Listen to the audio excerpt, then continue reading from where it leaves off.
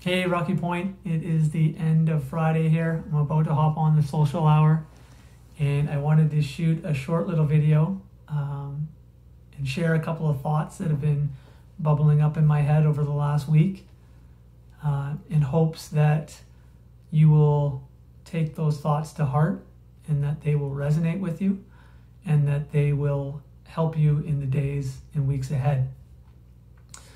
Um, the first thought is around kindness and how it's probably more important now than ever to be kind not only to yourself but to others. And the second thought is around goal setting and how amazing goals are, but how they fall short so many times. Getting back to kindness, guys, I think uh, I mean, I know that I can say personally, um, without a doubt in my mind, this has been one of the most challenging weeks of my life.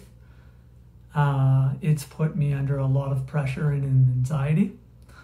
Um, and if it wasn't for the kindness that I have received from so many of our members, I think it would be a lot, I'd be a, a lot worse off. There's no doubt in my mind. I would be a lot worse off.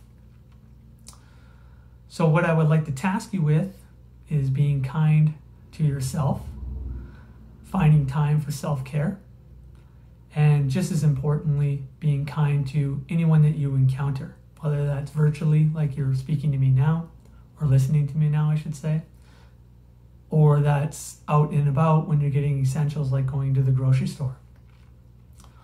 Recognize that everyone is under a lot of pressure and stress and anxiety and recognize that they might be acting out of character because of that. They might be snark with you, they might be snappy, they might be grumpy, they might be mute and just not willing to talk to you. But none of it is necessarily because of something you did. And I would like you to respond to any of that with a dose of kindness. Hit them with kindness, yourself included.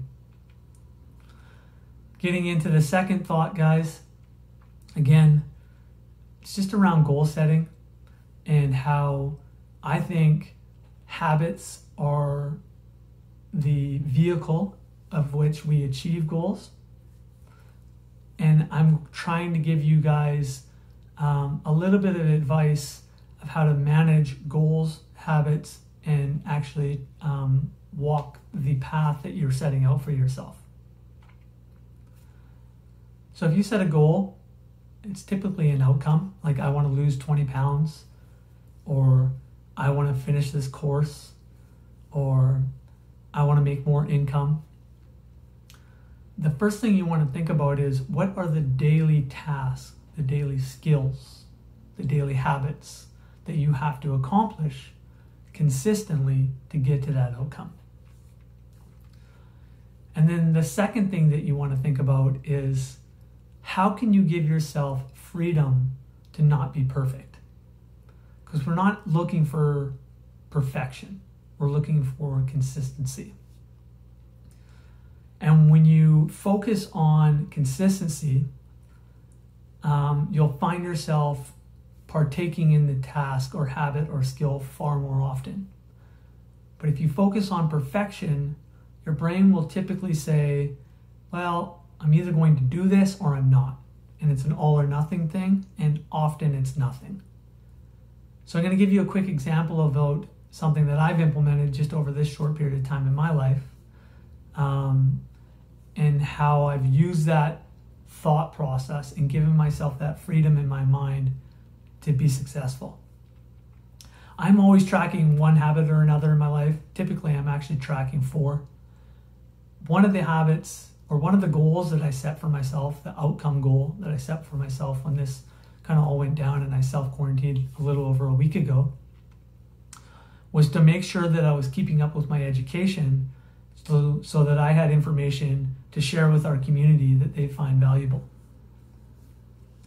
And of course, I've been tasked with a lot of work uh, and a lot of projects and a lot of pressure to try and do things for the community right now that could easily excuse my time for reading.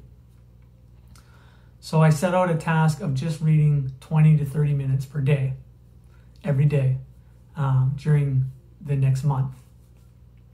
And typically that's a fairly easy goal for me. Um, I typically read daily, um, but under the pressure that I'm under, I figured it might slip. So that's why I set that task. And what I found was the first couple of days, I was kind of forcing myself to get it in. Um, and I really didn't want to uh, actually just sit down and take time to read. I felt like I had far more pressing things to do.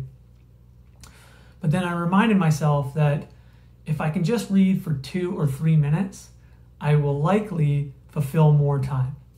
And if I don't hit 20 or 30 minutes, then that's fine. At least I put the effort in to just pick up a book for two or three minutes. And with that mindset, with that freedom, it's very easy to make the right decision. It's very easy to deny doing the other thing, the pressing task, or the tempting Netflix, or the nap that you might want to take, whatever it is, and choose to just do the task or skill or habit that you're trying to accomplish. So I'm happy to report I've read every day, and more often than not, I've actually read for probably 45 minutes to an hour plus a day, uh, on top of the other accomplishments that I've been working on for the community. And this can work in your life in any area, guys. Set an outcome goal. Break it down into a daily habit that you track and give yourself the freedom to not be perfect, to just do one step towards that each and every day. And you'll find yourself doing that thing, even, it's, uh, even if it's small. And when you do it just consistently, it will spiral in, the be- in a better direction and you'll do it more often for longer. I hope these two thoughts help, guys. Again, be kind to yourself and to everyone around you. Set an outcome goal and break it down into a habit that you track daily and give yourself the freedom to not be perfect.